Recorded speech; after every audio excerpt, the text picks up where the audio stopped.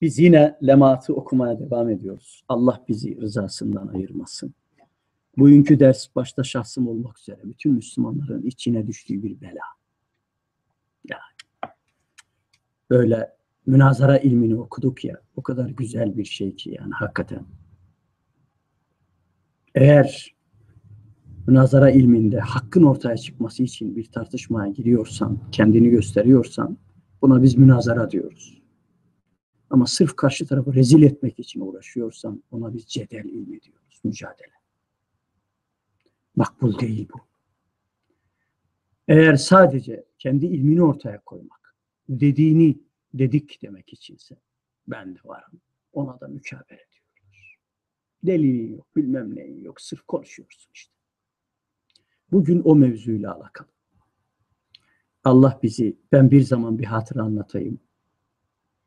İsmini zikretmeden hatıra anlatayım. Meşhur bir yazar. Vefat etti. Allah rahmet eylesin.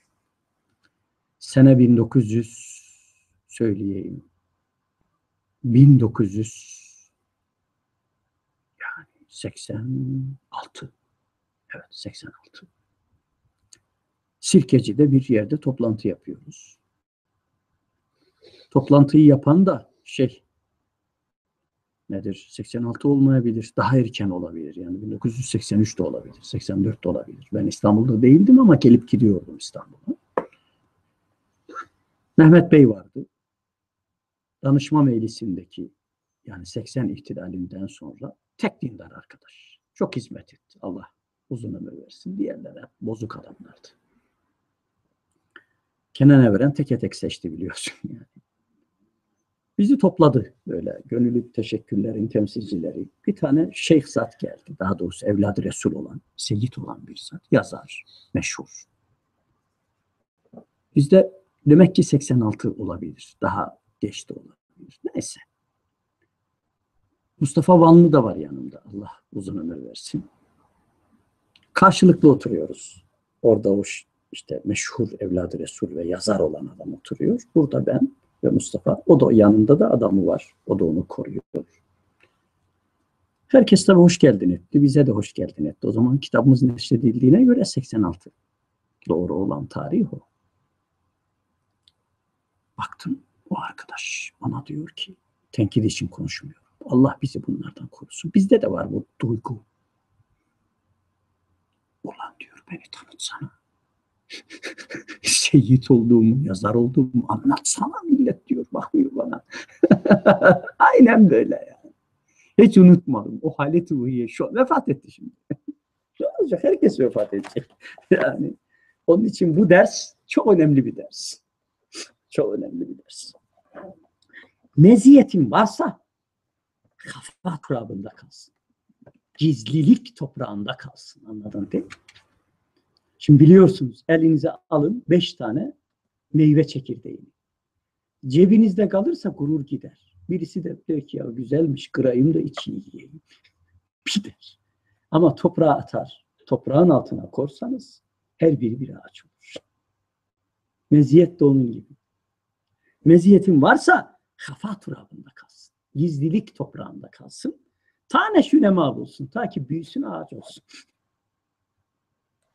Subhanallah. Bir şey daha hatırlatacağım. Bu çok bana etkileyen bir ders bu.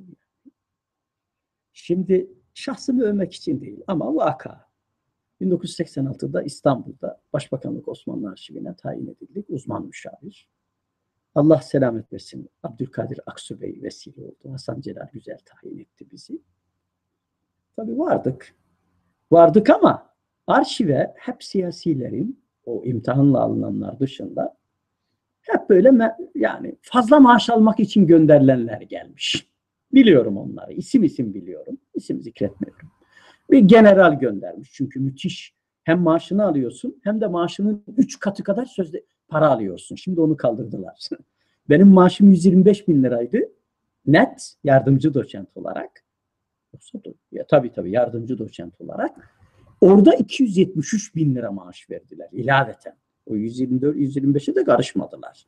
Yani iyi bir maaş yani. Dolayısıyla gittim tabii. Bizi adam yerine koyan yok. Bizi bir oda verdiler. Çünkü bak maaş yüksek. Neredeyse daire başkanı ve genel müdür kadar. Dediler herhalde bu adam çok torpilli Hasan Celal Güzel'den. O da mübarek hiç anlatmamış bizi. Yani Arapça az çok biliyor falan diye. Öyle oturduk. Bir gün beni çağırdılar. İki arkadaş var eskiden beri tanıyor beni. Onları da muhabbetle yad ediyorum. Necati Bey ile Mustafa Bey. Allah selamet versin onlara. Ölmediler, sağlar elhamdülillah. Bir tane e, nedir? Zahir Baybars'ın fermanı gelmiş. Yani bu meşhur Memlükli Sultanı Zahir Baybars'ın fermanı gelmiş. Tabi okuyamıyorlar. Çünkü Arapça bilen hemen hemen yok gibi işlerinde. Ama 40 yıllık arşiv uzmanları var aralarında. Mithat Sertoğlu var ki vefat etti Allah rahmet eylesin. Gittim. Daire başkanı da benim hocam. Erzurum İslam İlimler Fakültesinden Erdoğan hocam. Buyur hocam dedim. Dedi ya bak Günz Hoca yani belki dedi sen dedi bilirsin falan. Yani öyle basit görüyorlar.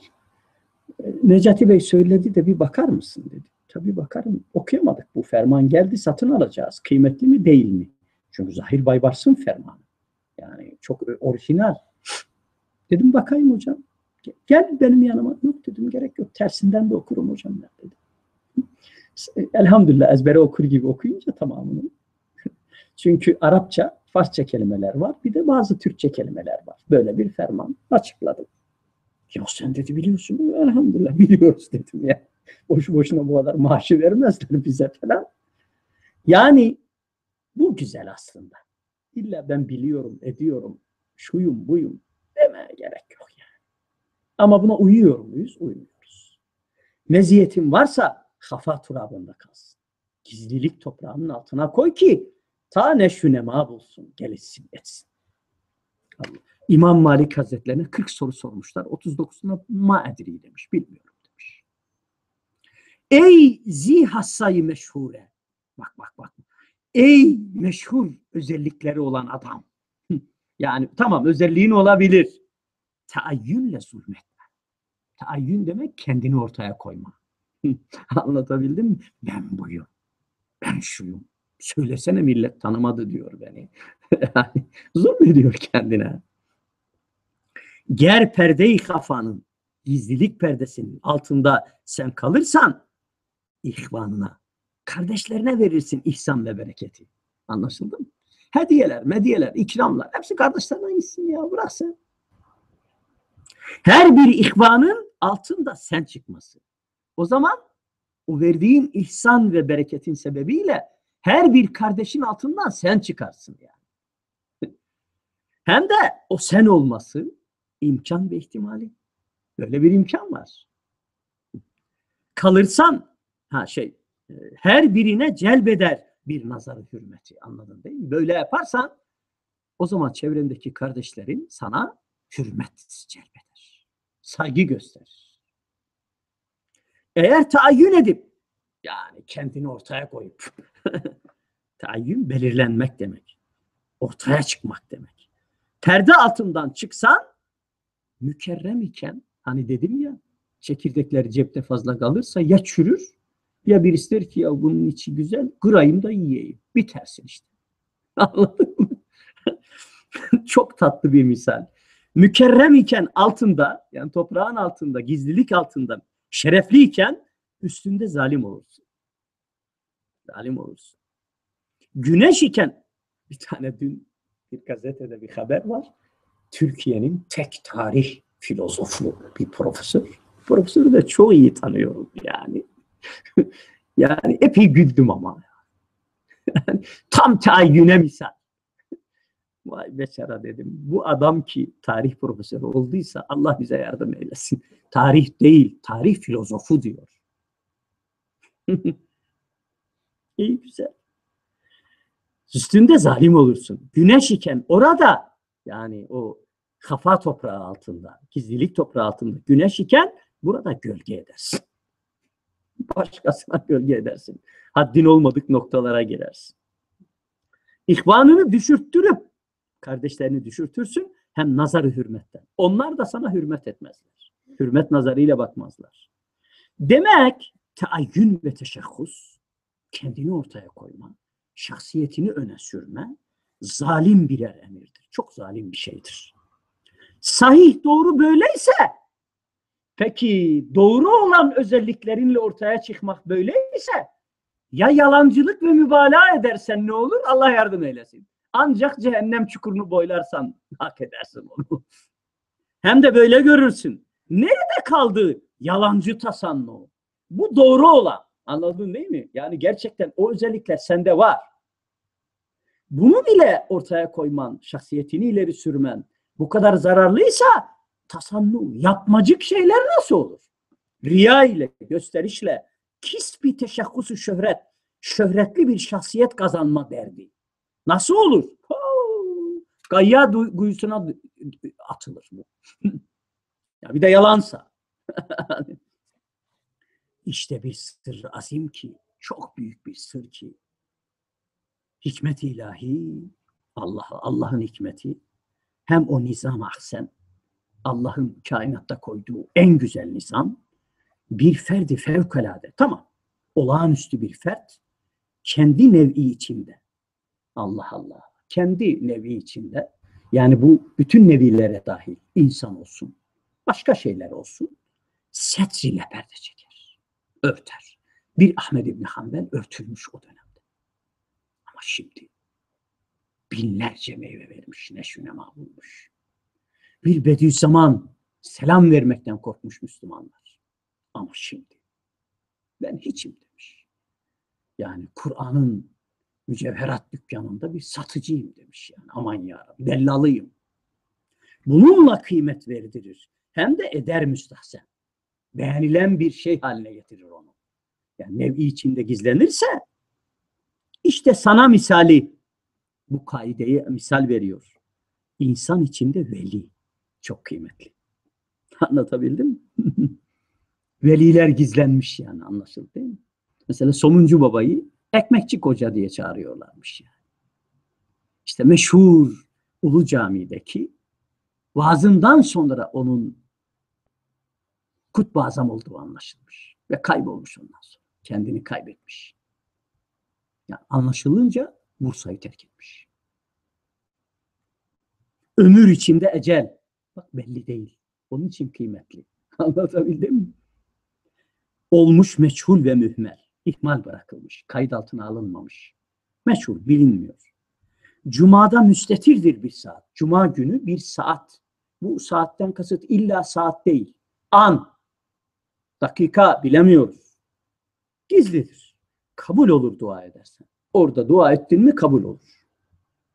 Ramazanda münteşir bir leyle-i zukadir. Yani şerefli bir gece Ramazan'da da, dağılmış. Nerede olduğunu bilmiyoruz. Muhtemelen 27. gece. Ama kesin değil. Esma-ül Hüsna'da muzmer. Allah'ın 99 isminde veya bütün isimlerinde gizli iksiri ismi azam. İsmi iksiri. İksir biliyorsunuz ilaç. Müthiş etki eden ilaç. Hangisi ismi azam? Allah bilir. Bize göre Allah ismi ismi azam. Ama bilemiyoruz. Bu misallerin haşmeti, muhteşem oluşu hem de o sırrı hasen, işte o güzel sır. Nedir o sırrı hasen? Gizlilik perdesi altında kalas kal ki neşüne olasın. İphamda ishar eder. Aslında gizli bırakmakla asıl ortaya kor onu. Anlatabildim mi? Yani çünkü çekir ne demek bu?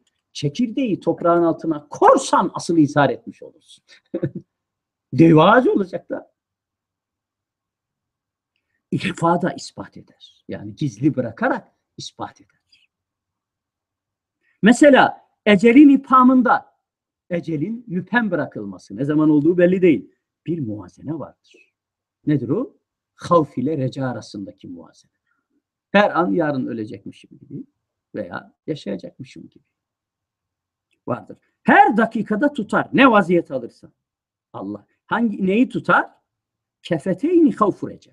Korku ve ümit kefelerini tutar elinde. Hizmeti ukba dünya. Allah Allah. Hem dünyaya hem ahirete hizmet. Aman ikisini de ihmal etmeyeyim. Muazene bu, denge. Tevehhümü bekai hem daimi kalacakmış gibi vehmediyorsun. Çünkü adam 105 yaşında, anlattım bunu çoğu yerde. Erzurum'da bir zat dört kat Alaaddin Yaşar e, şey Alaaddin Başar abi anlatmıştı. Komşumuz diyor dördüncü beşinci katı yapıyor. Bizzat tuğla taşıyor 104 yaşında. Dedim ki diyor komşu amca ne iyi böyle nedir bu derdin? Demiş biliyorsun küçük oğlanı da evlendireceğim. Bir kat daha yapayım da birinci katta biz otururuz. Oğlanların her birine de birer ev vermiş oluruz. İşte bu tevehhümü beka. Halbuki yani oturacağı da belli değil. 104 yaşında zaten. Ama insanda bu olmalı. Fakat kesin olmamalı. Anlatabildim? Yani ama lezzeti ömrü verir. Ömürler lezzet verir tevehhümü beka. Sanki kalacakmışsın gibi vehmetmek o ömre lezzet verir. Yoksa her an ölür gibi düşünmek mahveder. O müsbet manada değil, menfi manada. 20 sene müphem bir ömür olsa ahsen. Yani bilinmeyen 20 senelik bir ömür daha güzeldir. Neyden? Nihayeti muayyen bin senelik bir ömür. Bin senelik sonu belli olan ömürden daha güzeldir. Zira nısfı geçerse bin senede olsa yarısını geçti mi her gün her saati geldikçe güya adım atarak dar ağacına gidersin. Şeyen şeyen üzülmek. Yavaş yavaş üzülmek. Ve hem de teselli vermez. Yani çünkü yavaş yavaş üzülüyorsun. Tam bir işkence. Sen de rahat etmez. Anladınız mı? Delikanlı izamlar. Okuyoruz. Okuyoruz. Bir tane daha okuyoruz.